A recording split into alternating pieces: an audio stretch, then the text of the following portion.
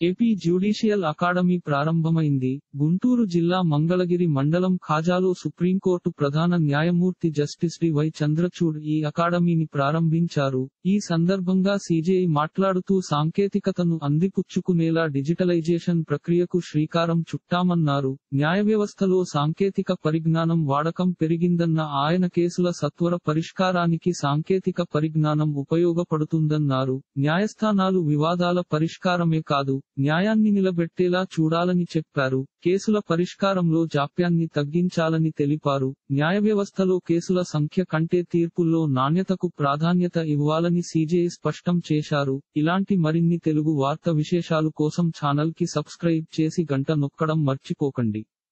ఈ వీడియోని తోటి మిత్రులకి షేర్ చేయండి. మీ అభిప్రాయాన్ని కామెంట్లో తెలపండి.